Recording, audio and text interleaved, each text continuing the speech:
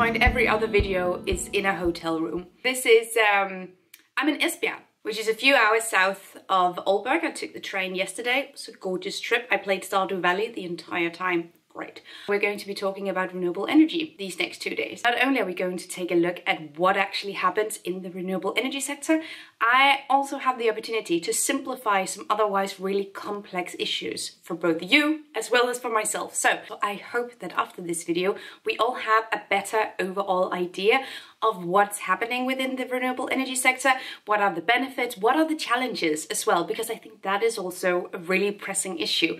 And what are some of the innovations that's currently happening? What are the advances and what are we doing? But first of all, let's look at some key numbers. 54% of domestic electricity supply is covered by wind energy in Denmark. And wind accounts for about 19% of the energy we consume in Europe overall. Solar panels are about 9%, hydro is 12%, wind is 19, nuclear is 23, and fossil fuels is still at 29. And then we have a category of other at around 8%. Europe has around 107,000 wind turbines, divided in 103,000 onshore and 3,600 offshore. And the vast majority of a wind turbine is made from steel, which account for 72% of its material. It also contains 13% iron, 11% fiberglass, resin or plastic, 2% aluminium and 1% copper, which makes 85 to 90% of a wind turbine's mass recyclable. I made it to my pickup location, which is right by the harbor. And while we're going to be looking at renewable energy today, that's the main objective. This is also the Danish headquarters of Total Energies, which just celebrated their 101st birthday as a fossil fuel extractor.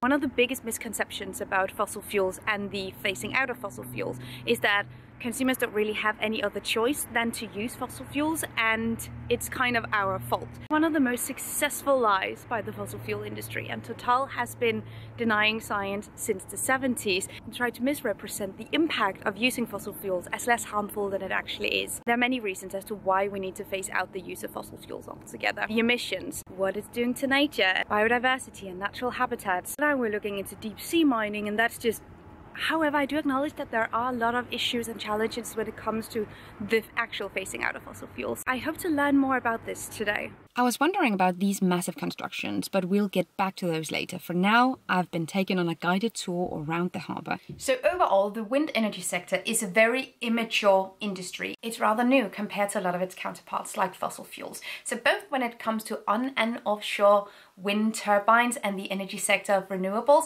there are some challenges that many consumers perhaps aren't aware of. We might think of the energy grid, we might think of how to store renewable energy so we can use it later to make it more predictable. We might think of the different technologies that are or aren't available and the innovations that are needed in the area. However, what I think a lot of consumers don't realize is that a lot of the challenges related to the renewable energy sector actually has to do not only with the sector, but everything around it. So producing wind turbines takes up an excessive amount of space because it's massive constructions. That means that you have to build in really, really large scales. Many of the main problems arise when you have to construct and transport a lot of these really big components. That means that around the wind focused energy sector, we have to think about what kind of infrastructure is available to move these massive constructions. That means different kinds of trucks, different kinds of roads, that means different kinds of ships, and those are industries and sectors in and of themselves. So in order to scale and innovate and improve the wind energy sector, all of these other components has to be part of the journey as well. So one of the major challenges of the renewable energy sector when it comes to wind is where where we're going to put all of these components once they're produced. This means that one of the reasons why we aren't moving fast enough when it comes to the wind energy sector is because we don't have enough ports to store and transport them. So if we don't invest in port space or in transportation innovation or in road improvement, we can't get more renewable energy from wind. This is something especially Europe and Asia are very well aware of right now. And where North America is falling a little bit behind, I'm sorry. Here's the CEO of the port saying just that. These big tanks are full of hydrogen because we also stopped by Esbjerg's Power to X facility. Now let's take a moment to understand what that does. Power to X turns electricity into fuels, heat and chemicals that can be stored and used later. Here's how it works step by step. We start by taking the electricity generated from a wind turbine, which is otherwise quite difficult to save and store. Then the electricity is used to split water through electrolysis. The water is split into hydrogen gas and oxygen. The oxygen is simply released into the air, but the hydrogen is highly useful.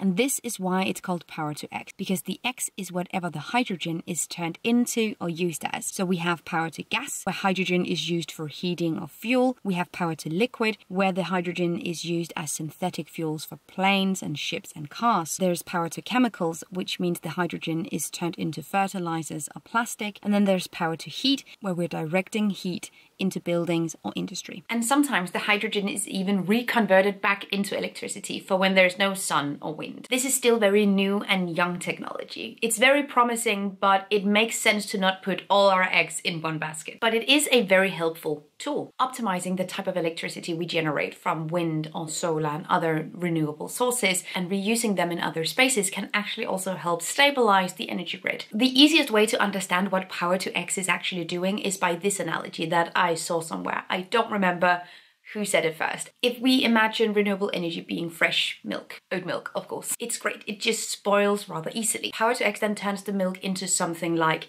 cheese or yogurt, which has a longer shelf life, but also increases the value. That's extremely broadly what's happening.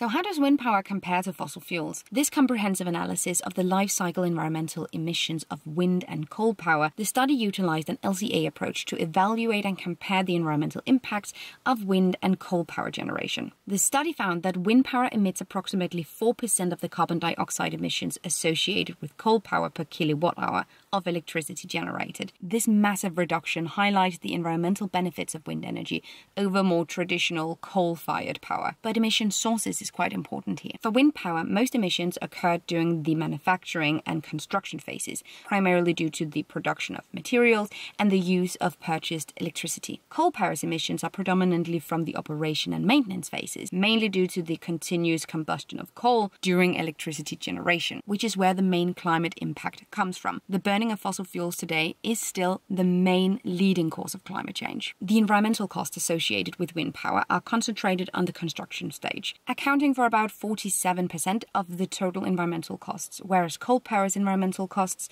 are more evenly distributed throughout its life cycle. And because the impact comes from different stages, it's easy to pit a high production impact against coal and gas in order to discredit renewables. Very much like, ah, see, I told you, it's not that great. We might as well stick to coal and gas gas, but there's more to it. Even with a higher production impact, there's a lot to be gained here. Wind power only emits 4% of the emissions, which is associated with coal and gas. Remember the massive vessel in the beginning? Yeah, apparently it is an offshore wind farm installation vessel, and we're about to go and see it from the inside. It was massive, with lifting capacity of 1,600 tons at a radius of 40 meters. The main installation hook here can reach 160 meters above the main deck, and this is what it looks like in action. We got a chance to talk to both the captain and the crew of the vessel to understand the work that goes into this sector and what it takes to secure renewable energy. Not gonna lie, I thought from afar this was an oil drilling platform or something, and maybe you thought that too. At least now we know it might be something completely different next time we see something like this in the horizon. But with vessels this massive, I cannot help but question the impact constructions like this have on the environment. And I am not the only one. This study from 2024 looks at the environmental impact of building offshore wind turbines. And one of the more glaring findings of the study was that they found a massive data gap of 68%, which means that the vast majority of the impact of offshore wind turbines on the environment are still pretty much unknown. Now, I don't want to say obviously, but obviously, when you build massive constructions on the seabed like this, there is going to be an impact on the local environments there. I'm also not gonna lie and say that the main focus of this trip that I was on was on the environmental impacts of wind turbines. It wasn't exactly the biggest focus, but it's my biggest focus because climate issues and environmental issues do go together. This trip was very much so geared towards an interest in the business part of it or the tech part of it,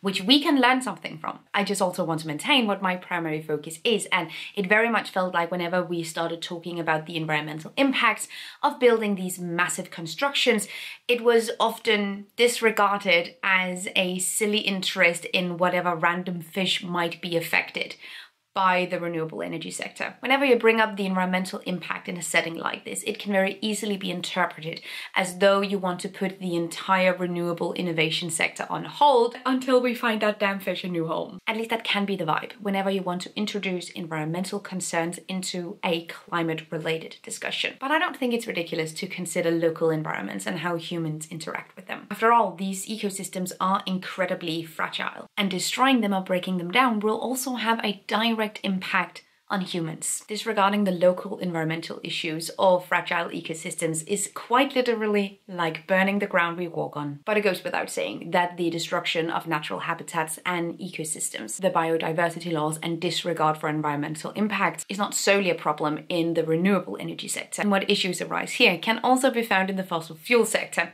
Just much, much, much, much, much much worse. So the attentive viewer might have noticed that in the beginning of the video I mentioned what was technically recyclable in a wind turbine. However, what can be done and what is actually done isn't always quite the same. There is no doubt that wind turbines are much more recyclable today than they were 20 years ago, both because it's a bigger priority today, but also because the infrastructure to recycle them is much more readily available globally. The blades are most commonly made from glass fiber, which is quite a difficult material to recycle or reuse Digging them down has been an industry standard. However, new legislation from 2025 prohibits this kind of disposal of blades. So, new technologies to recycle the blades are becoming more readily available. Everything from the infrastructure making it possible to different types of solutions and chemicals that can dissolve the resins and epoxies that the glass fiber is made from. I think it's also important to note that the blades have a lifespan of roughly 20 to 30 years, and especially the blades made from glass fiber is held together by an epoxy glue that can pose some issues here. It is technically possible to recycle, but because the material is of very low value, it's not necessarily the biggest priority still compared to other materials. The recycling process of the blades is also highly costly and energy intensive, which means that the carbon footprint of recycling them is also quite high. So there's neither an economic incentive nor an environmental benefit to recycling a lot of wind blades. So, one of the solutions here is for the industry itself to create blades in a material that you can recycle that both has an economic and climate related benefit. Because we don't really want recycling if the environmental impact of the recycling process is higher than creating new material. That doesn't really make sense. And luckily, this is not just a pipe dream, this is actually something that's happening. So, during my trip with Wind Europe, I asked you guys on Instagram what kind of aspects of renewable energy you are interested in and what questions you have specifically focusing on wind. And one of the questions that I kept seeing again and again was how long it takes for a wind turbine to offset its construction impact? How long does it have to be in use in order to offset the impact of building it? Which is a really good question, so let's take a look at it. So the time it takes for a wind turbine to offset its own construction impact